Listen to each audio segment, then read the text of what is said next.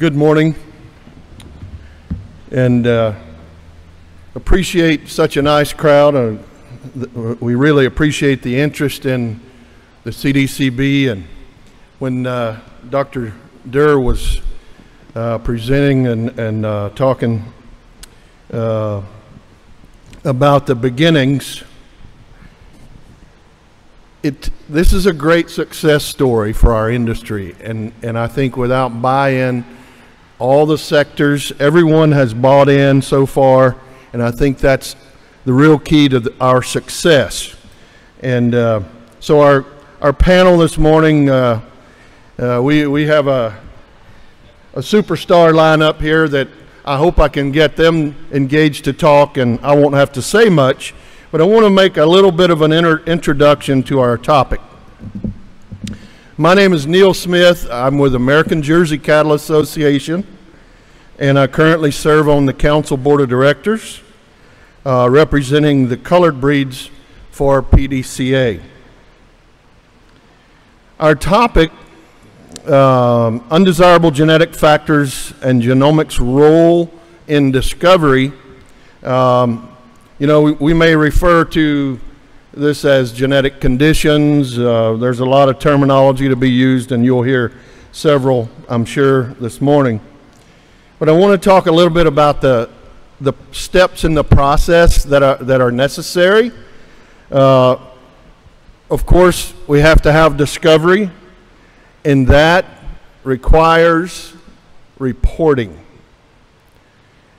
And when we get ready to close the last line you're going to hear from me is please address reporting, however you're involved, to the producer level. And we're going to try to take care of that uh, informatively.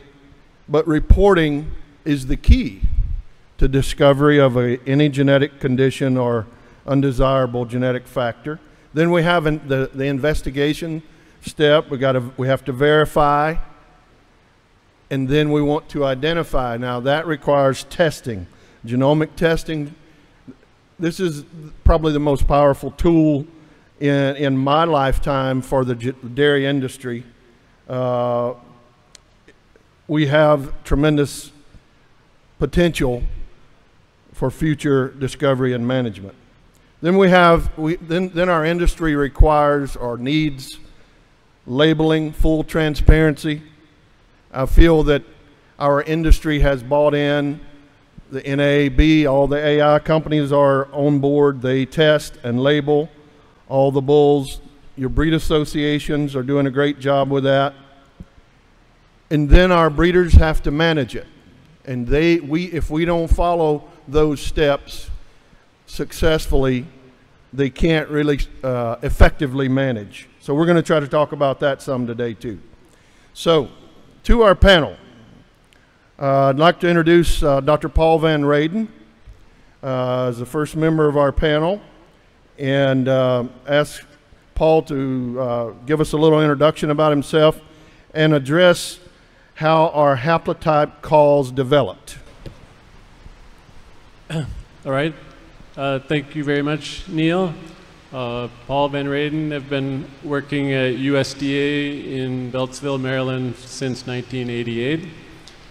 And uh, so, first, you may want to know exactly what a haplotype is, which is basically just a short segment of uh, DNA on one chromosome. And when you send the DNA to a lab, they you get a genotype which measures the combined DNA that the calf has from both the sire and the dam, two copies of the chromosomes. Then we have to split that out statistically into the, the paternal chromosome and the maternal chromosome. And the haplotypes we're going to talk about right now are mainly ones where if the sire and the dam provide the same stretch of DNA that has a defect in it, then that can lead to the embryo being lost or the calf being born with defects that are you know, fairly consequential, or, or that they die immediately after birth. and the way we got started in these was actually a, a project of Katie Olson when she was a postdoc in our lab. And uh, there was a new genetic defect, brachyspina, mm-hmm. that was uh, discovered in Europe. And NAB wanted us to determine is it the same, you know, inherit, can we duplicate or find the same inheritance here? And that worked very well using a haplotype in that particular segment.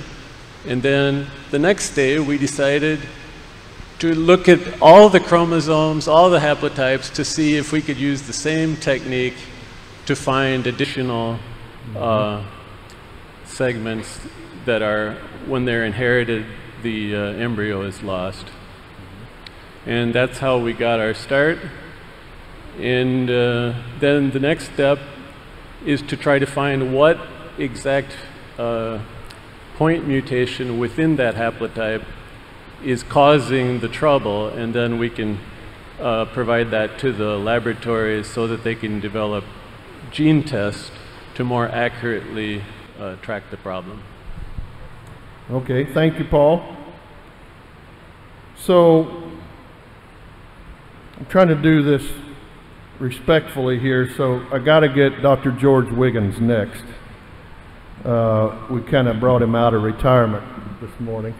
So, George, uh, give us a little introduction of, about yourself and your involvement, um, and then how has the discovery and understanding of genetic conditions changed with genomics? Well, thank you. Uh, I've been fortunate to work with Paul during uh, his career. I actually started with USDA in, in 78. And I'd just like to build a little bit on what Paul was saying is that uh, these haplotypes, when there was del deleterious or causing a uh, uh, loss of genotype, we actually looked at that in terms of uh, loss in fertility. So that was kind of the key that we looked to say, uh, when, when is it that we don't find the same haplotype coming from both parents in a live animal? And then similarly, we can look at the fertility to see if uh, there was a depression in fertility from the quotes carrier. So that's really the, the kind of the goal of this is to identify animals that appear to have this segment or this haplotype piece of DNA that uh, does cause this reduction in fertility. So that's why instead of saying, oh, lethal, lethal genotype or lethal defect, we, we call them haplotypes affecting fertility. So this has given the industry the opportunity to reduce the frequency of these haplotypes by being uh, alerted to them through the, the role of genomics. And it just sort of shows that the original emphasis on genomics to have early accurate uh, predictions of genomic value also has had many other benefits, of, uh, which this is one. Okay, thank you. So I'd like to uh, introduce Dr. Matt McClure, uh, who is with ABS Global. And Matt, would you uh, give us a little bit of information about your role uh, with ABS and the industry and related to this uh, topic, and then what has been the historical strategy of the AI industry when un undesirable genetic conditions are discovered? So I'm the lead geneticist at ABS Global um, here in Madison. And first I wanted to recognize that the AI industry and ABS take genetic defects extremely seriously. Know, we, we test all of our breeding animals for known genetic defects. We report that. So all of our animals, either through CDCB or our own publications, once we know their defect status, we report that. We don't hide any of this information. We also realize though, no animal is perfect. Every animal has multiple genetic defects in it. So do we. All of us have them. Most of them are just unknown. They're too rare, so we can't select for them. But once we know the animal's genetic defects, we use that in our mating systems to help decrease the risk of genetic defects while maximizing genetic potential. Just because an animal carries a defect does not exclude it from our breeding program. That's we look good. at yep, we look at the severity of the defect, we look at the frequency of that, and its genetic potential, and decide how to use the animal.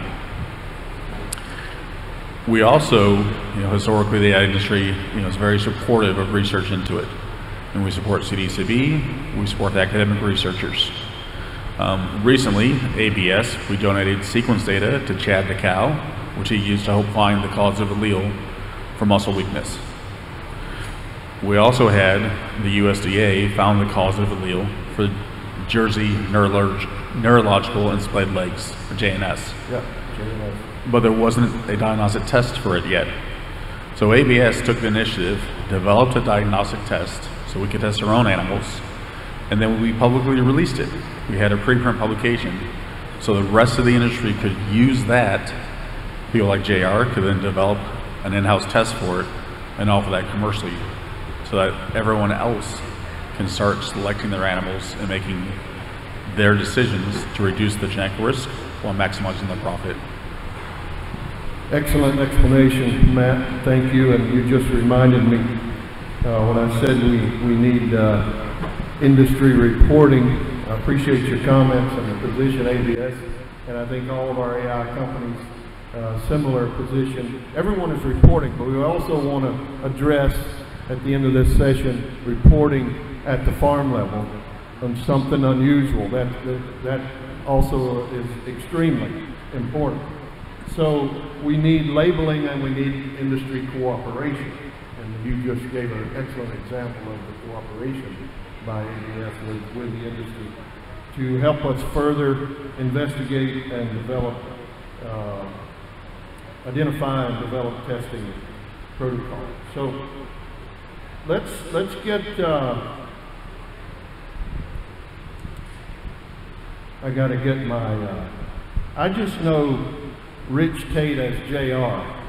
So I'm just gonna introduce him as JR with Neogen. And would you, uh, give us a little introduction, JR, of your, your, uh, involvement and then how has chip density impacted the topic?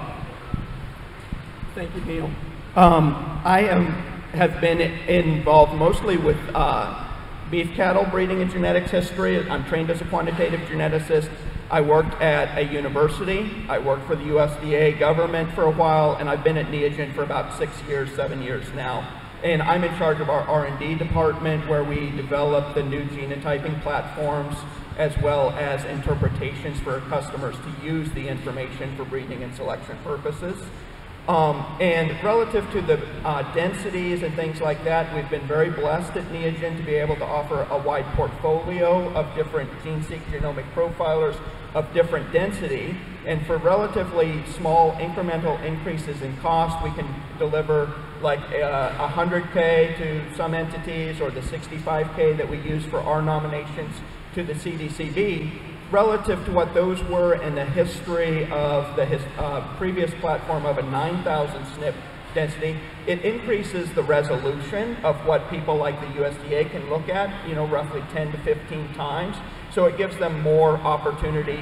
Um, normally the process includes uh, imputation to go from the 9K up to the evaluation data set. But if you have the actual genotypes called, you don't rely on the risk of the imputation giving incorrect information, you have the actual content. And that's very beneficial for the resolution of these investigations. Thank you, JR. We have one more uh, important member of our panel, Mr. Spencer Hackett, who represents our producer. Uh, he's the lone uh, active producer on uh, our panel, and uh, he's with uh, Malari Farms. And I'm going to ask Spencer to give us a little bit of uh, more information about himself.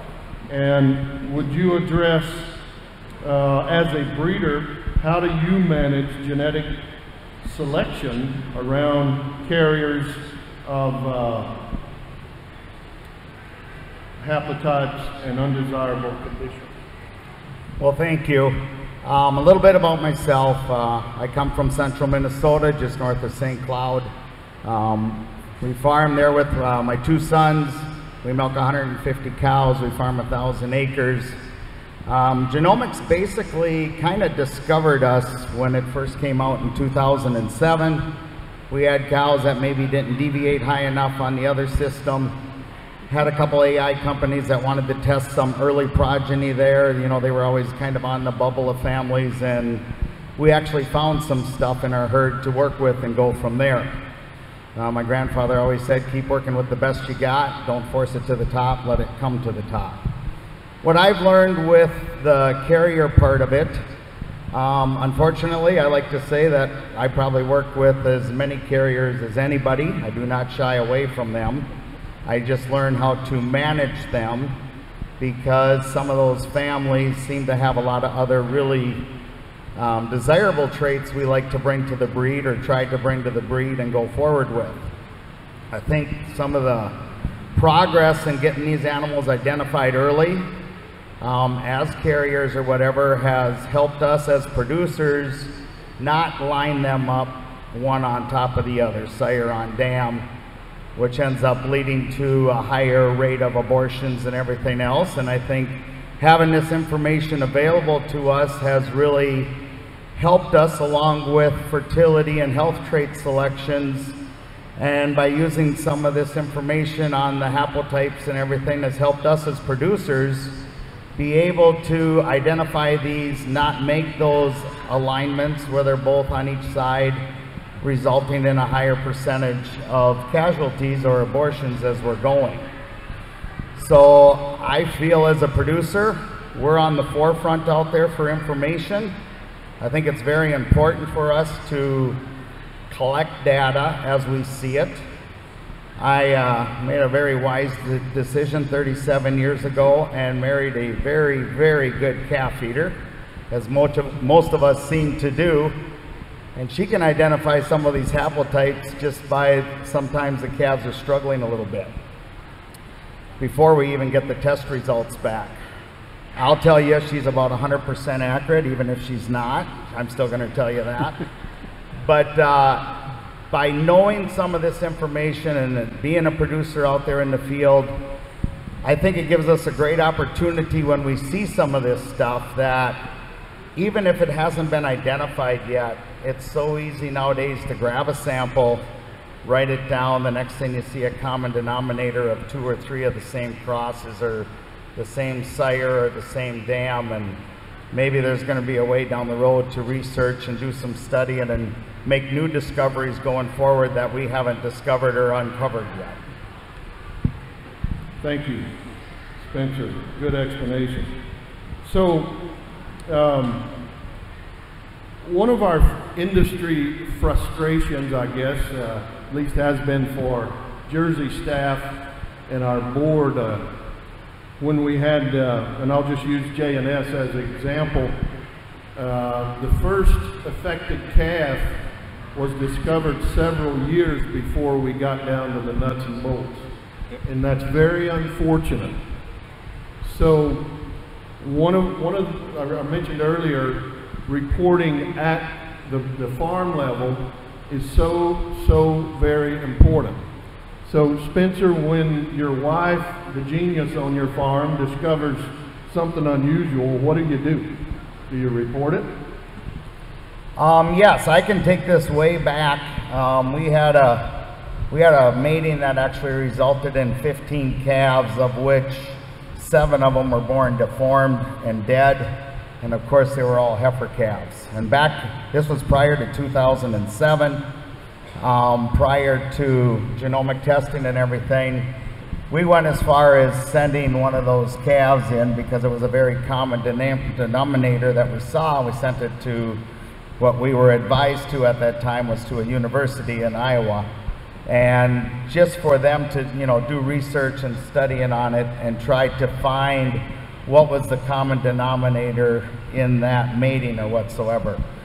Um, fast forward, it would be so much easier today to grab a hair sample or a tissue sample and maybe collaborate two or three things that maybe we see in Minnesota and now somebody in Texas might be seeing it, and somebody in another country might be seeing it. Um, I know I've brought it up in discussions that we have on some of these committees. You know, maybe some of these samples could be sent in and labeled as research. You know, just to start to compile some of that data of what we're looking for to try to get in front of this so-called undesirable trait before it becomes an impact on making the most productive animal out there for our dairy producers. So when I, when I, uh, my expression about frustration we experienced, uh, you know, we even had a couple board members or former directors who, you know, when, once we started describing this condition, you know, they would, they would say, you know, I think we had a calf like that last year. But it was a bull calf, so we just euthanized it. and so, you know, that's, that's the kind of situation. Maybe innocent, but we can't work with it if we don't uh, learn about it. And uh, Matt, you uh, had played quite an important role in that JNS discovery, and, and there's other stories. But uh, I mean, do you have any examples of particular case study on something that you'd like to share? Well, to start with, so I didn't marry a good calf feeder, but I did marry a, a very smart woman. I, I, I, do support, you know, the idea of a way to a national airport. So my wife and I lived in Ireland for a couple of years, and she helped set up for the Irish Cattle Breeding Federation a national defect reporting center. So any farmer could report in, I got this weird calf, and we'll send a sample out. And once it gets going, you get some interesting cases. Sure. Um, so, you know, I've, I've, worked on JNS, Weaver syndrome. Um, yeah, you get some weird ones thrown up. So I, I, actually worked on JNS as a postdoc. We thought it was limber-leg, you know, and then right. Uh, yeah. At Jersey, we were pretty suspicious it was just more limber-leg, but it's not. Yep. And, and we started talking to people and said, well, it looks a little, a little different. um, so you know, my experience. sorry, my experience is, you know, have the farmers report it, you know, and try to have you know that linkage. You know, anything what's going unusual. Here. Anything Please unusual. Report. You know, it. You know, sometimes it's not a genetic defect, and that's fine. We'll work with the vets to realize, hey, this is actually a parasite. But report it. You know, report it to your vet, to your AI industry, to your herd books know, if you report it to ABS, we keep a record of this, and then we have a couple vets and academic researchers we work with. Report it to someone. You know, we, we won't think you're a bad producer. We know these are out there. But if it's not reported to us, to, to anyone, we can't help you. Yeah. We, we don't want to treat these genetics like they have the plague either. I, I, that, I think uh, historically in, in this subject topic. You know, we, we used uh, pretty much uh, for several decades, it was recessive traits. And uh, that's kind of the way back history.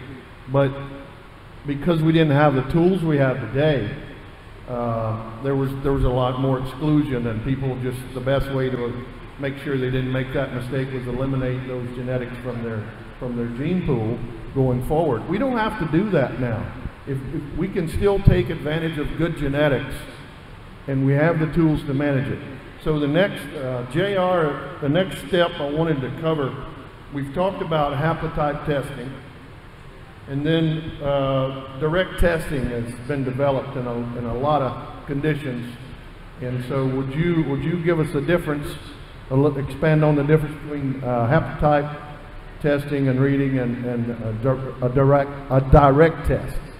So we definitely rely on a lot of partners in this space to help us understand what has been discovered from a haplotype perspective and then what seems to be the putative causative mutation. And then we often do develop a direct test to be able to enable that kind of information. And a lot of times there is some uh, biology or some un understanding that this makes sense for the phenotype that's been observed as to this is the reason this could or should be the causative mutation. Getting lots of animals genotyped with the direct test is a very strong way to understand that and manage it even more explicitly. And I think one part of that is Um, there is a possibility theoretically that some haplotypes that weren't identified as the haplotype might possibly carry the direct genetic mutation and might be missed that way. Um, and other times the mutation could be early, you know, not time out with the time the timing of the haplotype uh, designation. So there's a bit of nuance into this in terms of the difference, but the direct gene test is a powerful tool to help with that management of the matings and get a more uh, definitive kind of concept around what is this animal's status in life and how to use it in an effective breeding program. And the whole goal is to in, in increase productivity and efficiency of the production system with things that aren't part of the productivity, the, the production traits or the health traits or some of those kinds of things. What are some other things to manage and improve fertility and efficiency of breedings and getting cows bred so that they can get into the milking strain? Excellent. We're going to get into the discovery discussion for the future here in a minute. I got another follow-up question on on uh, the same topic. Paul, what happens when the direct test disagrees with the haplotype? Paul. Uh, well, we generally recommend that the gene test is more accurate. The haplotype tests are usually in the you know 90 some percent accurate, but the gene test can be 99.9 percent accurate. They're not always that way, and we've you know so there is there is still the possibility when when you're developing new chips that the that the reading, especially for some of these complex uh, mutations such as uh, insertions or deletions, they're not just, mo most of the things we've discovered, the SNPs are just one letter difference, A, C, G, T. Those are easy to read. Uh, but we're starting to find more and more now the more complex where there's DNA missing or extra DNA and those can disrupt the gene, but they're not always as easy to, uh, to set up the gene tests for. Uh, the reason why the haplotypes can be wrong a lot of times is because we're requiring like a hundred SNPs in a row to, de to define the haplotype. And if there are missed, just one or two uh, of those SNPs nearby are wrong, that can, that can uh, indicate a different haplotype.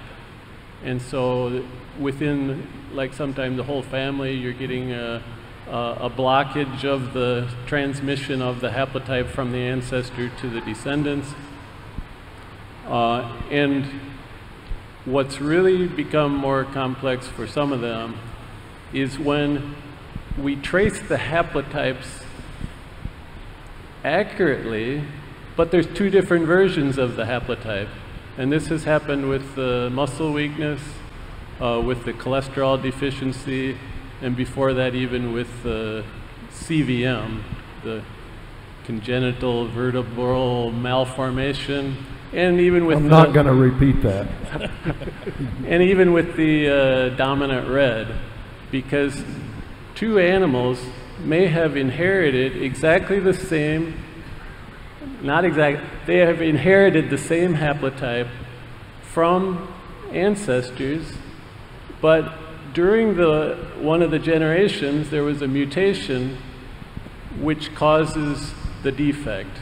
And so some of the families have the the normal version, other ones have the defective version, and that's the case where gene tests are much more accurate than haplotype tests. Excellent. Anyone else want to add anything to that? That's, that's pretty deep for me, but I appreciate the good explanation. Any, any other? So, okay. Um, Katie, how are we doing on time?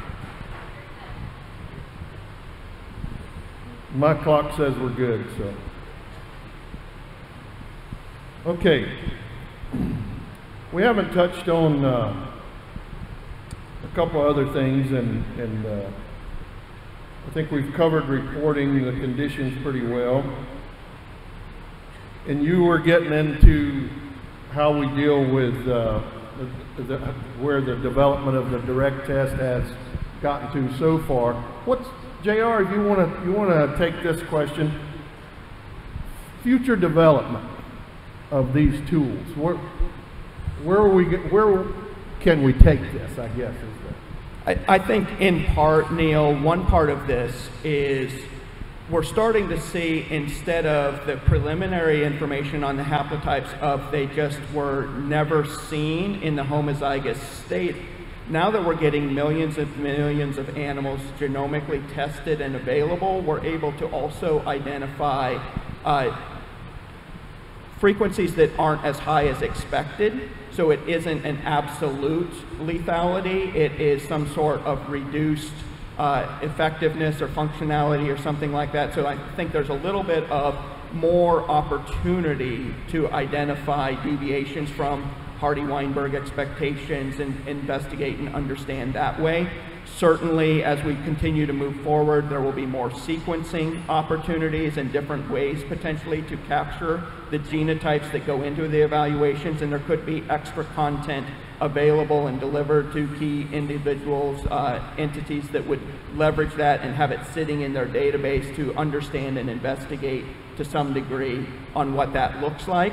We're still working through some of the um, process and opportunity to get those tools readily adapted and available into the industry. But you know, we're excited for what the future of that looks like, and it's the challenge is what is something that we can get collected and have sitting there so people can make more effective decisions in a timely manner instead of potentially having to wait for a direct gene test to be developed. We've got um, new platforms that we're in the process of working on that may give insights um, from a functional, um, curated database standpoint, and that these are potentially highly functional mutations that may be of interest in the future. What is the interest and the effect of that has to be determined to some degree, but there could be a very strong tie between these reports of individual animals and what attributes do they contain that we can capture at the same time that we do the um, primary genomic selection tools for breeding purposes. Thank you. Excellent. Anybody else want to expand on that, Matt? I was just going to say what Jared, as you're talking, I expect you to go into muscle weakness. That's a great case to where just because an animal is homozygous for it, you know, we call it it's not fully penetrant. So just because they have both alleles, they don't show it. You know, it's, it's a different type of genetic defect. So it's a new way we need to think about them and how to manage it. So you could have a calf that is homozygous for it, it's perfectly fine. Or, hey, it has trouble a couple days of, of getting up. Some like us in the morning, we're not as agile in the morning. We need a little help, a little coffee, but then they recover and they're fine. And then the vast majority of them do have issues. So we're finding these new genetic defects that require a, a slightly different way to think about them. But we just need to recognize it that, yep, it's a defect. We need to manage it. So it sounds like uh, chip uh, development is part of the part of the future too. It, it seems like I remember maybe a 3K chip in the beginning, and, and that has progressed. Tremendous variety of, of different SNPs available variety of chips. Uh, Definitely. Um, and we're sometimes, you know, Paul brought up a very important part for what is happening here that it's not just the single AGTC changes that are causing these. Sometimes it is an insertion or a deletion or things like that. As we get an opportunity to look across a lot of different species that we support um, at Neogen, a lot of mutations that cause adverse attributes in animals or sometimes favorable coat color, things like that kind of attributes, they are more complex kinds of mutations and take a different design, a different genetic testing platform, some things like that. So there's some give and take in that space.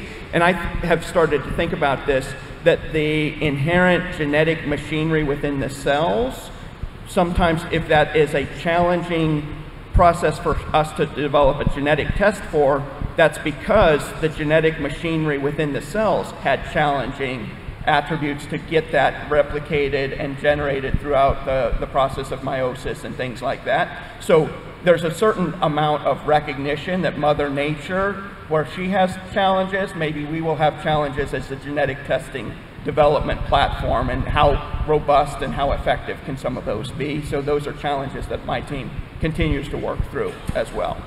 Excellent. Now, I want to go back to uh, the Holstein muscle weakness.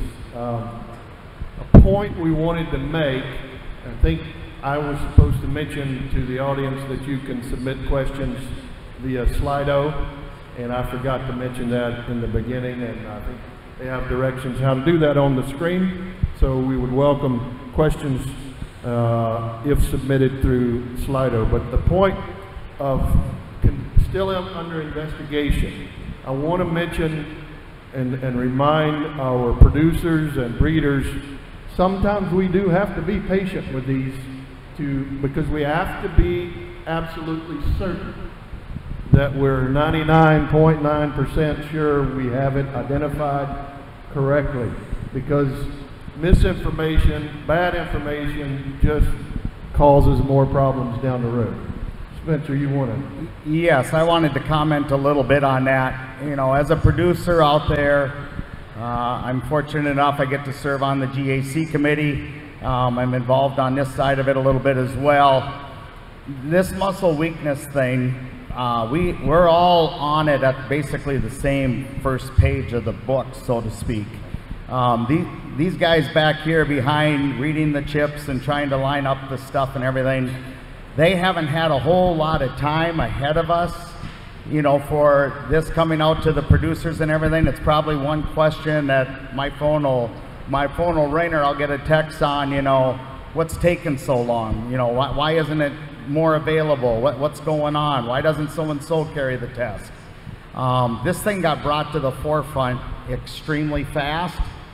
So we're, we're not trying to slow things down or anything. We're trying to be 99.9% accurate with that information when it's coming out to us as producers to make decisions and go forward with it. You know, um, I think all AI organizations, uh, they're, they're jumping all over it because us as producers, as customers, we're, we're looking for it. We want to we want to eliminate it. We've seen some of these conditions out there, and, and yes, there are some awful good programs that can keep these calves alive. And when we see a homozygous one, it's, in my opinion, it's evident there's more than just my wife that can feed calves. But saying that, we're going to have to give us a little bit of time or give some uh, CDCB and these guys that are working on it to get this test extremely accurate. We're using the information they're giving, it, giving to us now. But as an organization or anybody, we don't want to print something until we're sure of what we're printing is accurate, just for making sure what we're doing is the most accurate information out there. That, that's excellent. And Katie, I think, has a question, but uh, let me ask uh, George one more, and then we'll, we'll go to Katie with, with an audience question. George, you pioneered through just about all of this process. You've, you've been part of the 3K, the 6K, et cetera, et cetera, et cetera, and, and the development to where we are now. Words of wisdom. What, Well- well- well- well, thank you, Neil. First of all, we can't assume. Where Spencer's talking here, we, we cannot assume we have a case if we don't test that animal. But uh, that's, that's my side point. But I'd, I'd like to hear your, your thoughts on uh, future development as well. So since it's my thoughts, of course, I'm free to say anything I want. So- Absolutely. So I, I will make a plug for uh, the technology that gives us a chance to do full sequencing because ultimately that's where we get all the information and can pick out of that what uh, is most useful. And on that front, the, the sort of the next generation of uh, genotyping probably will be sequence based because it has the potential of uh, efficiencies, but you know, it's, it's something we've been talking about for a couple of years now, so I, I don't want to give you a prediction of when it's going to happen. But uh, Neil mentioned the progression, so it's all a, a case of cost benefit. That uh, with the 3K, it was tremendously important because it brought genotyping to the females. Before the studs could afford to genotype their males and could have the benefit of the reduced generation interval and the early marketing of high, more accurate evaluations on young bulls. But then with the 3K, we could uh, go to cows. Then, as JR was saying, we've made tremendous uh, strides in being able to increase the density, which uh, gives us more accuracy. We, we talk about the, in, in all of this, we know that the uh, measures are, are very good, but they're not perfect. So even in this issue of uh, haplotype matching, if there's a uh, error in the call, which even at 99.9% accuracy, there will be some. So the, the, the technology is really breathtaking as to how it's been able to give us more information at lower cost. Perfect. And uh, I would add, I've been amazed uh, at the growth of the genomic database. You know, obviously Holstein has the larger, by far the largest database, but the other breeds are very rapidly accumulating and building a stronger genomic tested database. Katie, what's your question? All right, we have a handful coming in. So we're going to start with this one is for Paul. For optimal genetic progress, should we label a defect or include the defect's economical impact in an overall economic index? Uh, that's a very good question. I was going to bring that up if somebody didn't. Uh, our, our genomic predictions right now are additive genetic merit. So they're assuming that one copy or two copies is twice as much of the effect as one copy. Well, that does not apply to these recessive or dominant things. Uh, so what we really, what we could view these as we need to predict the additive effect and we need to predict the dominance effect on things like fertility, calf livability, stillbirth. Uh, we don't have very easy methods yet to deliver the dominance solutions directly to the, to the producer. So we give them a list of all these, you know, haplotype carriers, and then they have to remember when they're making a mating, oh, this one, you know, it's a carrier of this defect, so do not mate that female to the, the bull that carries that. That, that works. I'm not sure exactly what percentage of the population of, of the cows out there are being bred with mating programs. It used to be pretty high. Uh, I'm not familiar with the percentages. yeah, I don't There know. are a lot of mating programs available with the tools to manage that. But so now these new ones that we're discovering uh, that are even partially penetrant, those those it's it's uh, harder for to keep track, especially if we could discover many more with uh, dominance effects. Uh, it would be nice in the long term to come up with just uh, an adjustment to the to the uh, genetic evaluations to include the, both the additive effect and the dominant or recessive effects. We're not there yet, and so that's why we're hand delivering each new defect on its own. Okay, do you have another question? I have a whole list of them. All right, next one on here is how do they see gene editing playing an important role in the future? Are we going in this direction at least for undesirable genetic factors? Who wants to take that one? I, Matt? I mean, so ABS genus, we, we do have gene editing. We're working on that in our pigs, the PIC. Um, I would say our viewpoint for a lot of these genetic defects is yes, we could use gene editing for it, but we have other tools that are much quicker and more efficient. You know, if we once you found the you know muscle weakness, JNS defect, if you wanted to gene edit that, by the time we would gene edit an embryo, make that individual, we would probably have faster genetic progress if we just use the defect status in our making decisions. Um, to the previous question, you know, we, we do internally kind of use the economic importance of the defect In-house indexes. in-house. And we look at the frequency of it, and we look at the impact of it. You know, JNS. There's you had the graphs showing up. You know, it was very high when it came out. We selected really hard against that because it was very frequent. Mulefoot today, not really concerned about mulefoot. It's still present in the national population, Can- just can very, very low. Breed trends on the screen. I'm sorry to interrupt you, but you're going to the frequency point, and we need to address that if we could. Perfect. Go ahead. Yeah. So if you if you look at these, um, you know, the trends, pretty much they go up and they start to go down because the cause of allele was found. So you look at that and say, what is your risk? Now, in your herd, maybe you have a genetic defect that is very high, so you want to select strongly against that. Maybe you're not concerned about one that you don't have. If I could say, hey, here's a great sire, sorry, he carries mulefoot, you may not care about that because you don't have any carriers in your herd. So we do use the frequency of it and we do use the severity of it. I mean, it's muscle weakness. The calf dies you know, afterwards. That, that hits you hard. Holstein haplotype, the abortion is aborted at two months of age. It's bad, but it's, you know, it's not as economically bad and it's not as uh, animal welfare horrible. So, so for the audience, I think we have, uh, I believe there's five breeds on the chart with multiple uh, conditions listed.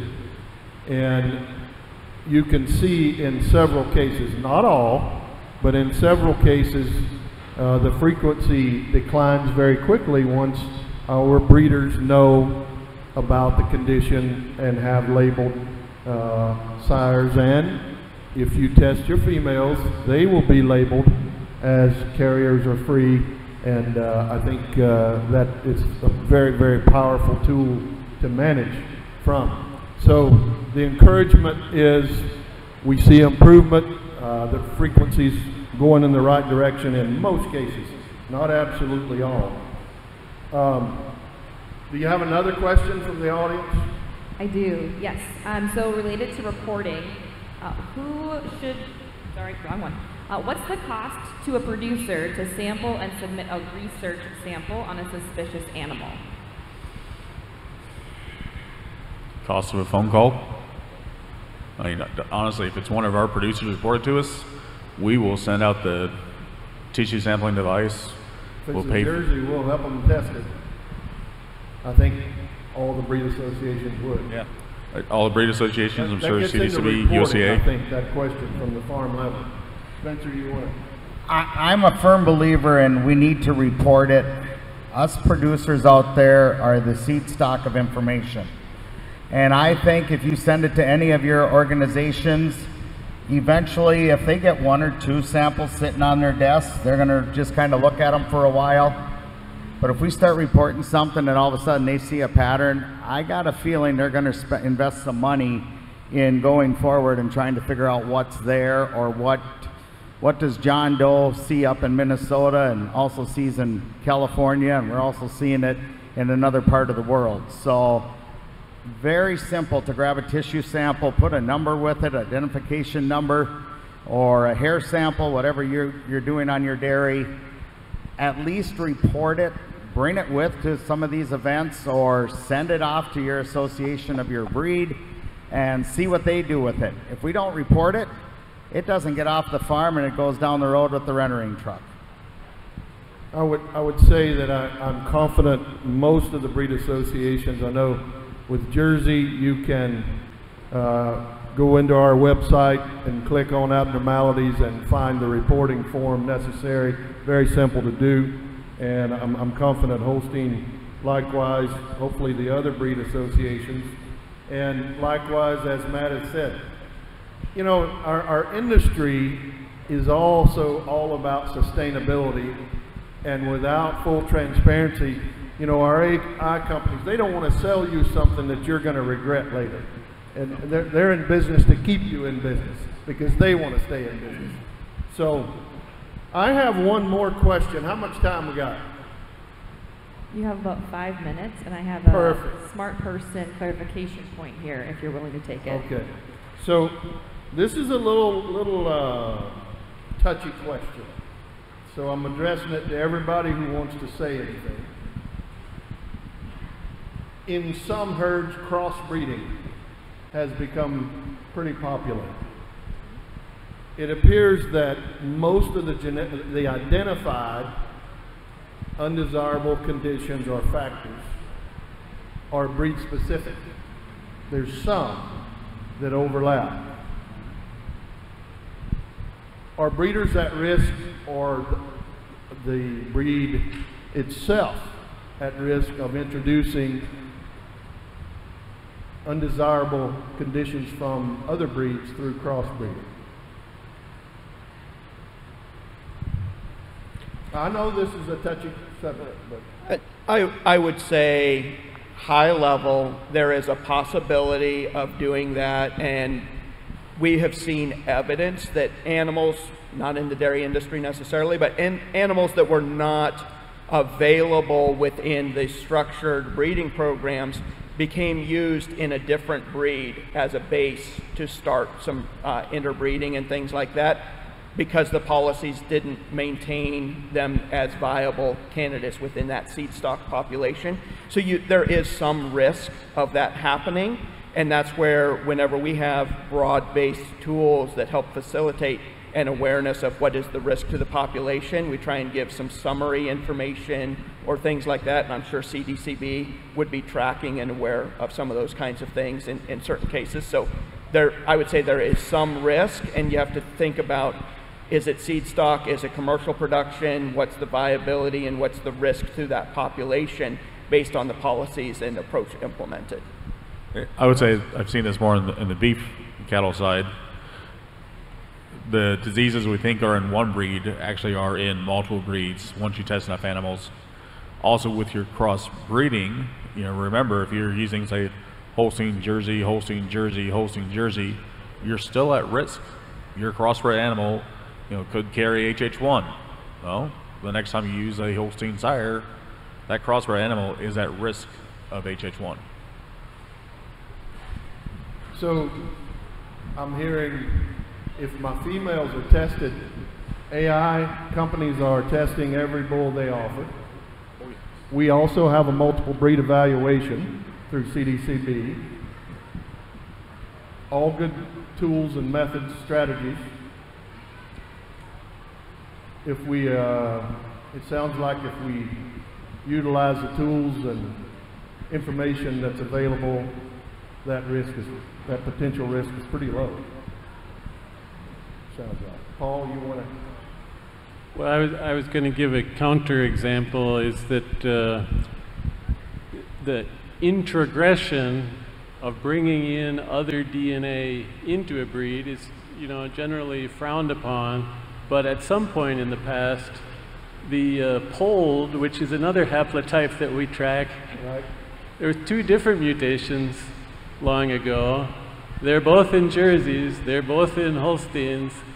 Uh, and I think, you know, and I would not be uh, uh, shocked if other breeds wanted to bring polled in, you know, the old-fashioned way. Uh, is that they're doing that with the slick mutation right now, even in Holsteins. So there are other uh, things which one breed has, which the others don't, which may be worth transferring. You have a little bit of a risk of transferring something unexpected, but you have a very high benefit of transferring in the thing that you really want. That gets back to the gene editing. There's, you know, there's more than one way to uh, to move the uh, useful genes around, and uh, we should use all the tools we have. And we have a lot of tools, a lot of information. So, excellent uh, response and, and explanation. We have another uh, audience question. Paul, would you uh, address the Holstein muscle weakness and the status of the investigation, where that's at? All right, the, the status is that the muscle weakness was uh, discovered by breeder reports. It's not something we could have found very easily using our, our normal methods, both because of the incomplete penetrance and because it was a new mutation within an existing common normal haplotype.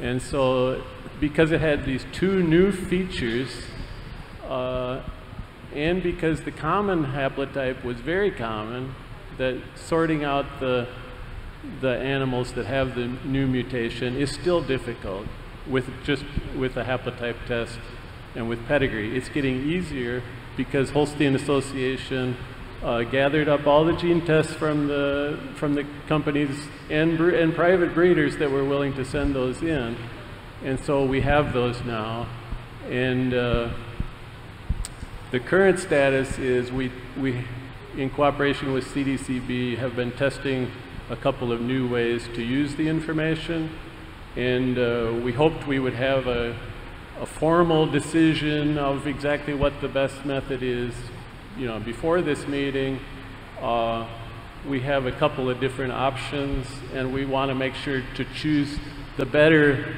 option first instead of releasing the information and then saying, oh, we, we decided to, to change it. Because there's going to be a lot of animals where the haplotype test uh, is just, the answer is we don't know because we can't tell whether the normal or the mutated version was inherited, especially for, for, herds where you don't have good pedigree or you don't have the dams genotype.